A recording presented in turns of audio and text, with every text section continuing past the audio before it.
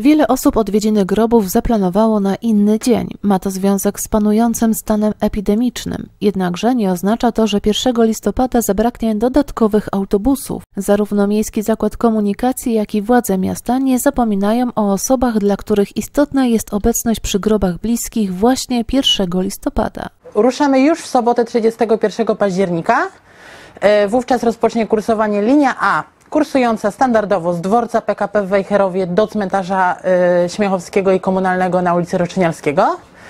E, Linia będzie kursowała co 20 minut. Dodatkowe kursy autobusów uruchomiono nie tylko w Wejherowie, ale również na terenie miasta Reda. Przygotowaliśmy e, kurs oznaczeniem linii B, który będzie o godzinie 10.42 z Aquaparku przez dworzec ulicą Gdańską i Gniewowską do cmentarza przy ulicy Gniewowskiej. Powrót e, o godzinie 11.55. Na liniach specjalnych uruchomionych podczas okresu świątecznego również płacimy za przejazd. prosimy o posiadanie odliczonej kwoty.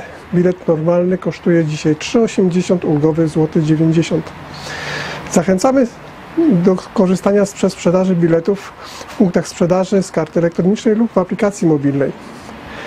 W aplikacji mobilnej są dostępne bilety MZK Wejherowo w cenie 3,40 normalny, złoty 70 ulgowy oraz bilety metropolitalne. W pojazdach Miejskiego Zakładu Komunikacji przestrzegane są wszelkie obostrzenia, które mają przyczynić się do zachowania bezpieczeństwa. Możecie się Państwo czuć bezpieczni w naszych autobusach, gdyż nasze autobusy są regularnie dezynfekowane, kierowcy są zabezpieczeni w środ- w środki ochrony osobistej i możecie Państwo spokojnie, bezpiecznie dojechać na cmentarze, na nasze nek- nekropolie. Również też zachęcamy Państwa, gdybyś, żebyście dbali o siebie i współpasażerów.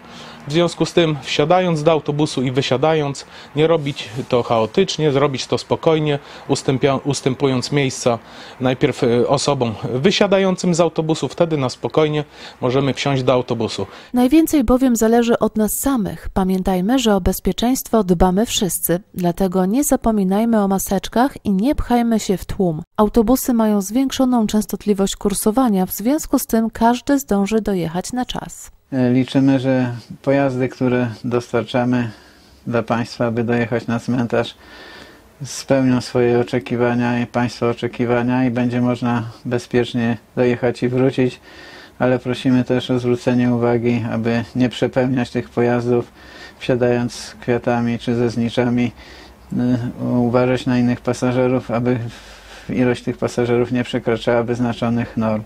Bezpieczeństwo zależy od państwa, a my tylko i wyłącznie możemy to nadzorować. Dodatkowe autobusy w dniach 31 października 2 listopada będą to pojazdy przegubowe o większej pojemności niż zwykle.